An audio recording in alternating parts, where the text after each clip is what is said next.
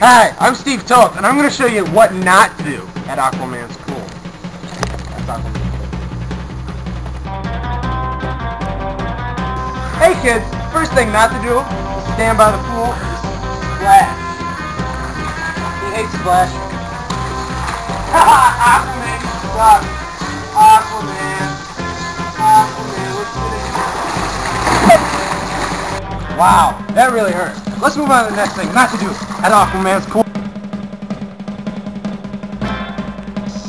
Kids, you may think boogie boarding is a lot of fun, but not in Aquaman's pool. But fun. Awesome.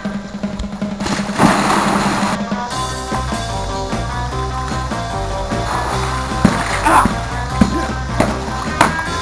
You concussion?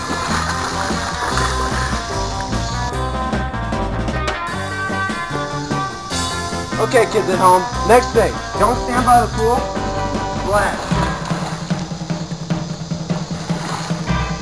It's not here today.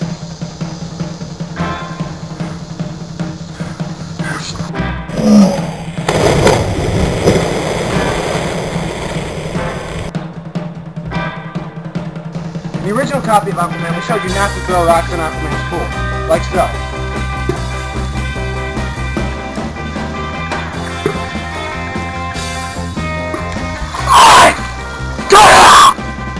Like rocks? Yeah. You know what? No.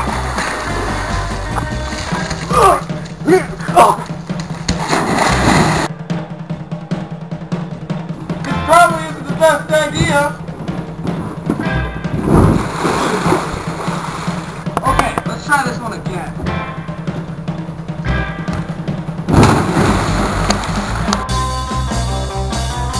Alright, this may not be the best idea, but let's give it a try. Never jump off Aquaman's roof.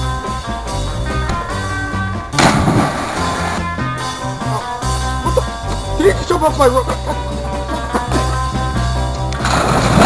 Wow, I guess Aquaman didn't do anything.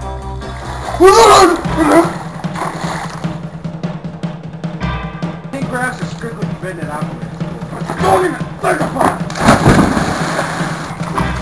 Alright kids, now I taught you the one, two, threes of what not to do at Aquaman's pool. I think this video is a slam dunk.